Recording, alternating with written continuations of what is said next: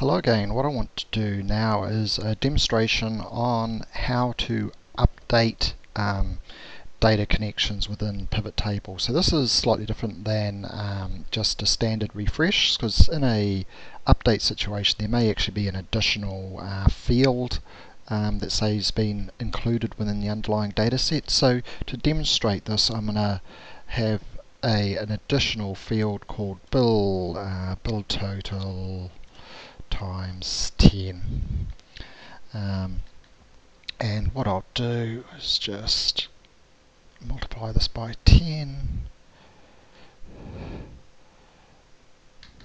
okay and then I'll just copy and paste copy and paste it as a number just so it removes the formula component. So there we go.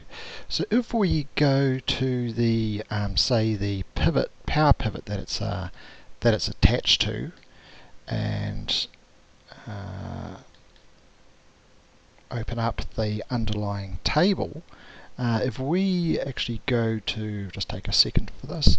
If we actually go in and refresh this in the uh, way we refreshed uh, in the previous demo um, what we'll see is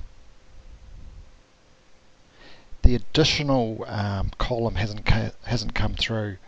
Um, so there's no bill total times uh, times 10 so in this situation we need to um, bring the um, bring the data back through again and uh, what we have to be a bit careful about is we have to make sure we bring it into this table or at least a table with this name. So at the moment, I'm going to what I'm going to do is initially re rename this to that.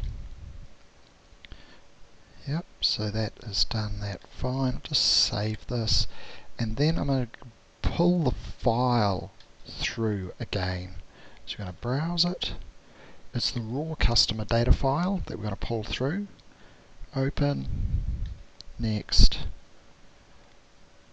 so okay, finish that, and what it'll do is it'll pull through another table. Okay, it's going to take a while. Okay, that's done. So here we go. We've got the um, this additional column. Uh, obviously, these first few are coming out as zeros because we've got some some missing missing records, but we'll go down. Okay, yep, that's a times 10 column. So what we then do is we can get rid of the either get rid of the uh, the old one, we could probably leave it there because it's had its name changed, but just to keep things simple, let's get rid of it. Um, and then we need to rename this new one so it's exactly the same uh, name as the as the old file.